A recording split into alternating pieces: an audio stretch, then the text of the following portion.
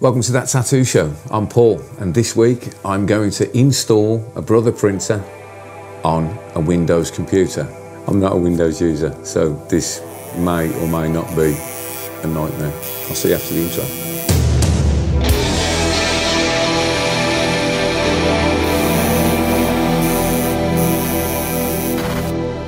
Okay, so here we are on the Windows computer, and we're going to head over to support.brother.com, and that's where we're going to find the software to get these printers installed.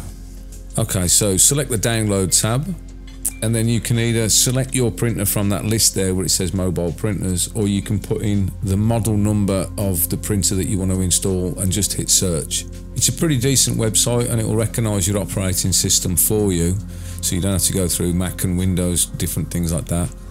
And then all you've got to do is select the printer that you want, and you'll end up at this page. For some reason, there's no combined installer for all of the various bits and pieces that you need to get this printer working. So you have to download all of the various elements separately and then run them. Or that's what I thought. So I went ahead and did what I would normally do on a Mac and downloaded all the various elements and then went to open them from the local hard drive in order to install them. It was at this point that I was faced with this folder with all these unreadable file names. I mean, that means nothing to me. It would be much better if it said PTouch update or firmware updater or printer driver, but they don't. So I thought, well, this is going to be a bit of a nightmare. But then I discovered something about Windows boxes that I actually quite like.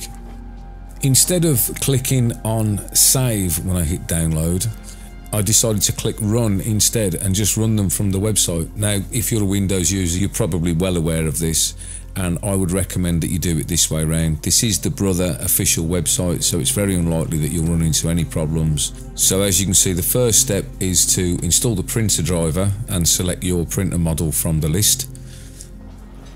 And then you'll be faced with the download, hit next, turn your machine on, plug it in via USB, and then the computer will get on with doing its thing, installing it for you.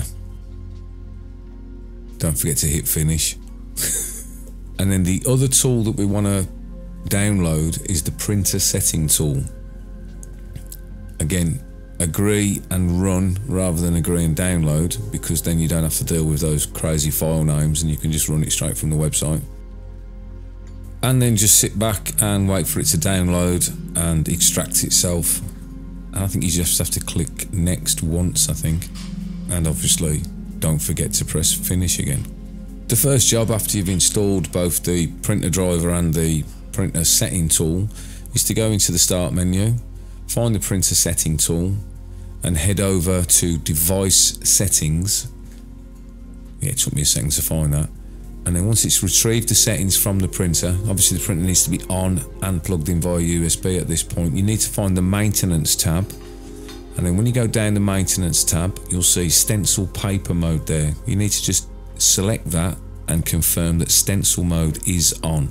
On mine, it was on by default, but I've been installing them on loads of different computers everywhere, so it may not be on yours. Make sure that's on, apply the settings, and then you can leave this control panel.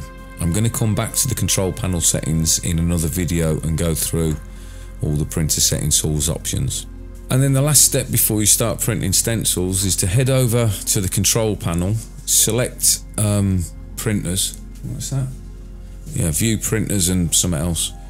Uh, select your printer, and then I guess we're gonna select printing preferences. Hopefully, God, it's taking me a while to figure out which one's which. Maybe we'll do printer properties. Hang on a minute, Paul. No, we'll do printer preferences. So if you go to the advanced tab, you'll see there uh, there's mirror print and reverse print. Now I'm going to presume that mirror print means flip horizontal and reverse print means flip vertically. So you want to select the mirror print tab.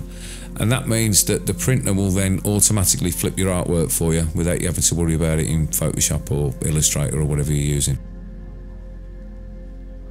Okay, so after you've installed your 773 using USB, the final step is to get it working on your Wi-Fi network. So right click on the printer in the control panel select Properties, and in the final tab, select Web Services.